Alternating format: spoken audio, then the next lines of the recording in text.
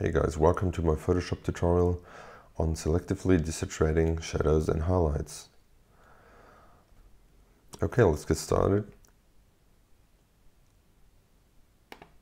Just gonna make a new solid color layer. Set that to 50% gray. And go to blending options.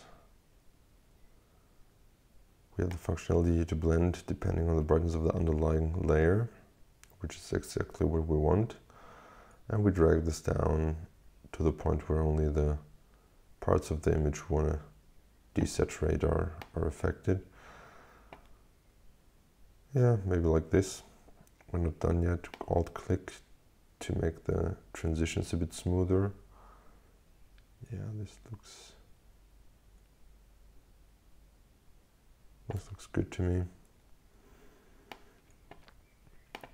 Just say, okay, so we see we have um, just affecting with the desaturation these areas here, our shadows.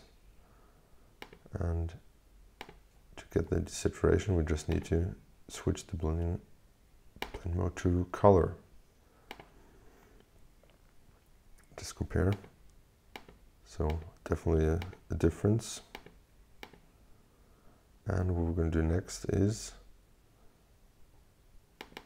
rename this layer to shadows.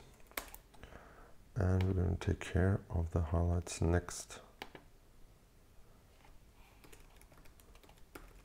Let's call this highlights.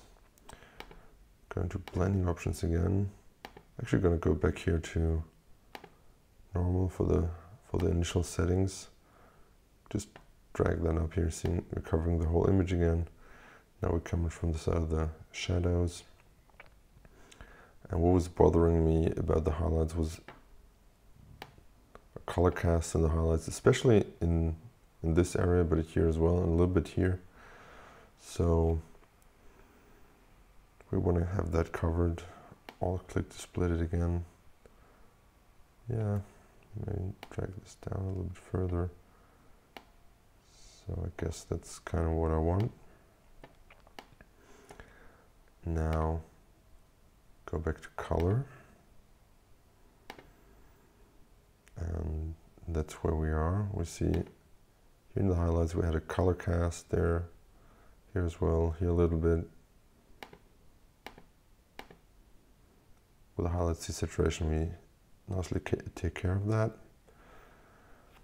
Okay, let's just group those two images together, uh, to group two layers together.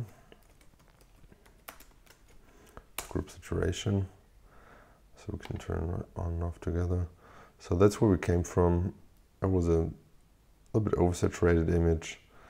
Definitely a lot of saturation here in the in the shadows with some color cast in the highlights here, here, up there. So wasn't all that great. With a little bit of modification, I think we improved the look of the image a lot. It's quite easy as well and quickly done. So yeah, that's pretty much it.